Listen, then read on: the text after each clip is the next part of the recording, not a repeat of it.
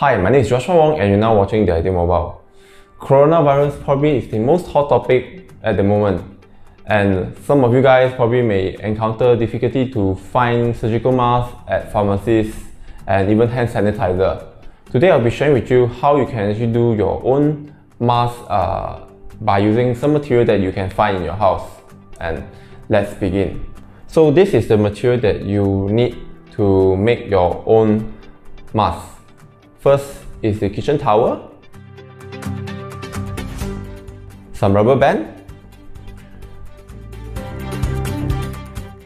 First, you can have two or three layers of the kitchen towels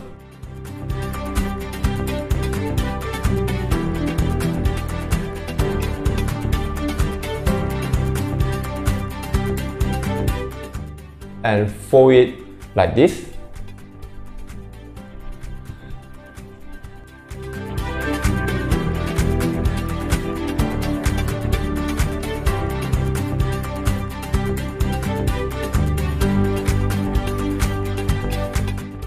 After that, you can use rubber band to tie a notch on both end of the kitchen towel Instead of tying knot, you can actually use a stapler to staple the end of the rubber band.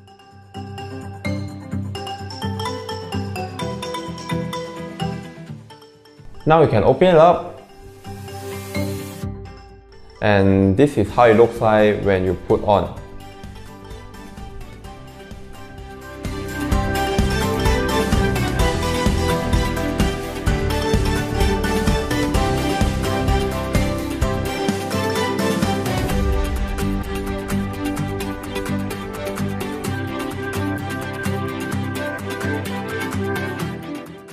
So one thing, the homemade surgical mask that I show you guys, uh, of course, is not the uh, exact thing that you get comparing to the uh, actual surgical mask, uh, but you should have a waterproof materials uh, on top of this layer.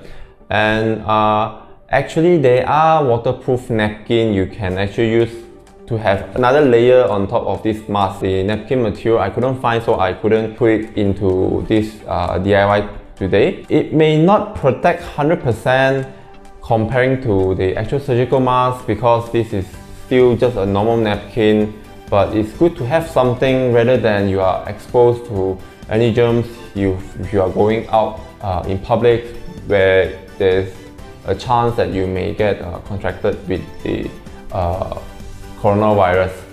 That's all for now. Hope everyone be safe. Thank you for watching. My name is Joshua Wong signing off.